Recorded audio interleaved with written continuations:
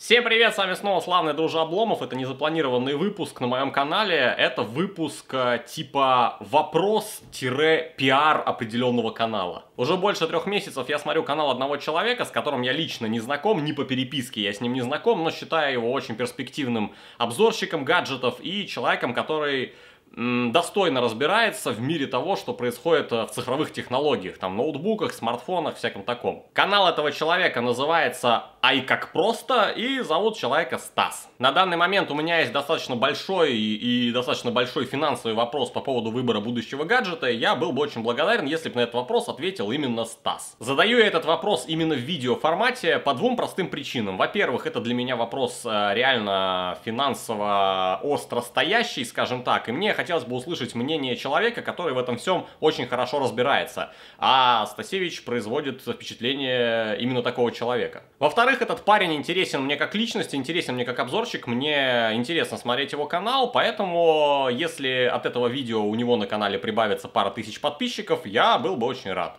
Ну и в-третьих, я считаю, что рубрика «Видео-ответы на видео-вопросы» была бы на его канале очень уместна, потому что одно дело а, выбирать какие-то темы для обзоров, темы для рассказов самостоятельно, а совершенно другое, это когда ты берешь определенного человека, у которого есть реальная проблема, отвечаешь а, на его вопросы, таким образом разрешаешь эту проблему еще для сотен тысяч э, подобных людей. Далее будет идти видео-вопрос, собственно, я думаю, что если Стас захочет ответить на этот вопрос, то он осилит вырезать это вступление. Привет, Стас, респект тебе и уважуха за твое творчество, вот мой вопрос. На данный момент я нахожусь в процессе выбора ноутбука для монтажа видео во время поездок. А, монтирую я видео, снятое в 4К, либо на GoPro, либо на Gashek 4, Panasonic GH4. А, монтирую я, как правило, 3-4 видеодорожки, это край крайний, я редко монтирую больше 4 видеодорожек одновременно.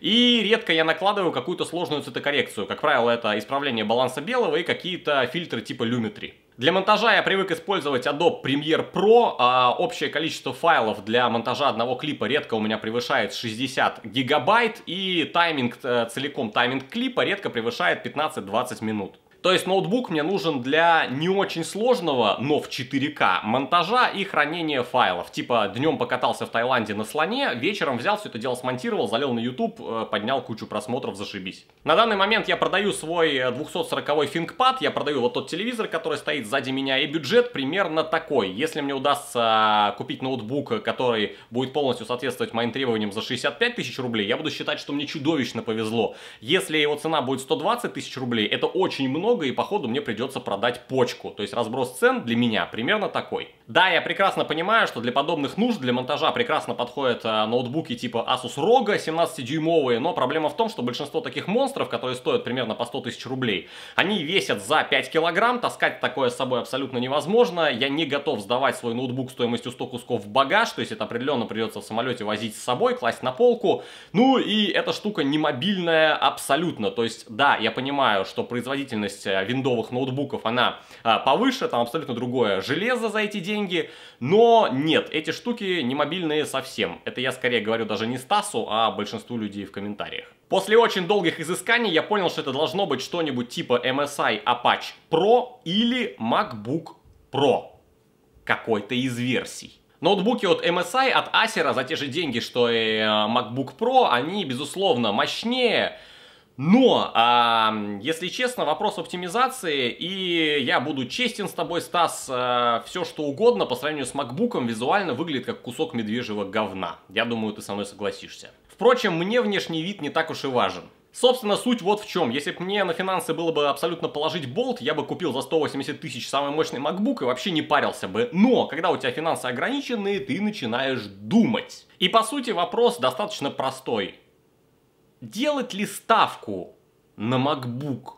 Реально ли он настолько крут и останется ли он настолько крут в перспективе двух, трех, четырех лет? Потому что, безусловно, купив девайс за такое бабло, я не буду его менять через год или два. За сим я обращаюсь к тебе, Стас, а, то есть для меня 100 тысяч рублей это реально очень большие деньги, из которых 1070 э, мне удастся получить за счет продажи своего старого ноутбука и телевизора, остальное придется добавлять из собственного кармана. Огромное тебе спасибо, если не проигнорируешь мой вопрос. Респект тебе еще раз за то, что ты делаешь. По скриптум, если есть возможность заказать MacBook из другой стороны и по прибытии нанести на его клавиатуру русские буковки лазером, эта услуга, по-моему, стоит 1000 рублей или около того, есть ли в этом варианте какие-нибудь подвохи. Собственно, тут заканчивается видео вопрос. Я не уверен, что Стас ответит вообще на него. Я не уверен, что этот вопрос будет ему интересен или интересен кому-то из подписчиков, но я уверен, что появится много интересных комментариев, потому что, а, поймите правильно, я информации и по MacBook, и по ноутбукам MSI, и по разным другим